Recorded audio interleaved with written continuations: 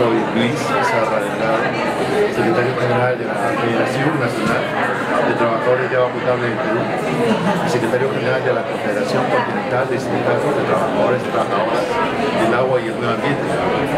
Estamos aquí en este sexto encuentro de Waterlat a fin de hacer conocer a la ciudadanía que los trabajadores no solo tenemos protestas, sino también propuestas.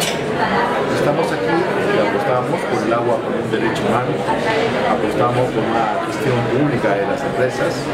Hoy en día por encima de la barrera de los países se está aplicándose una política de privatizar las empresas de agua. Entonces nosotros como trabajadores y trabajadoras hemos aprendido de que nuestros derechos son violados y violentados permanentemente, igualmente los derechos de los usuarios.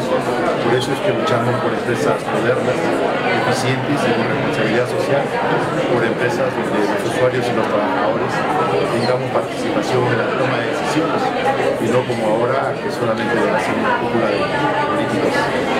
Eso es lo que hemos querido dejar de manifiesto y además de que el agua en manos públicas también puede ser eficiente.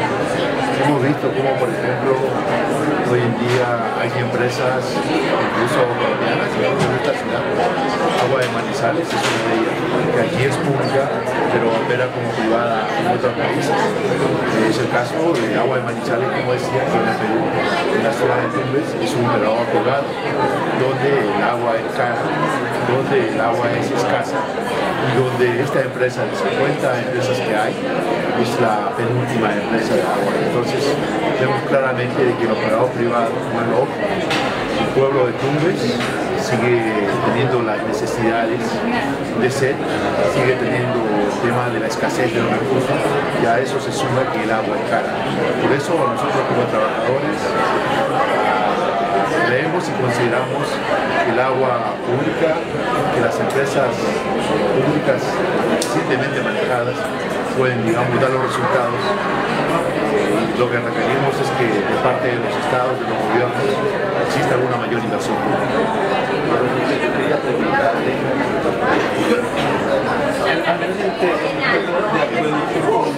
¿cuáles son esas posibles utopías? ¿Cómo se pueden materializar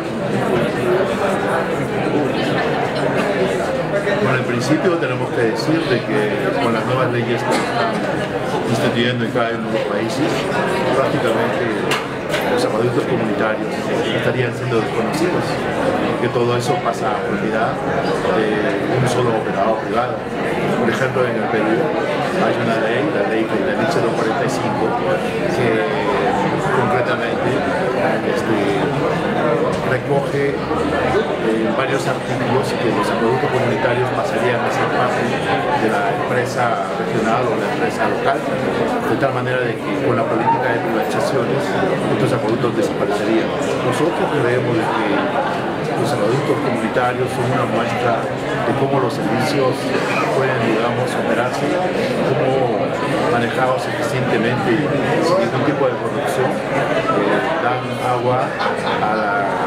de la población y además la cobertura del servicio es durante las 24 horas. Por eso creemos que esta es una forma de un modelo de gestión de la que debiéramos aprender en las ciudades, porque lo que se ve es que en los acuerdos comunitarios lo fundamental no es este, el negocio, la mercancía, el servicio y además el agua se entiende como un derecho. En cambio, en las grandes urbes está, digamos, el tema del agua embotellada, está realmente el tema de convertir el agua en una mercancía.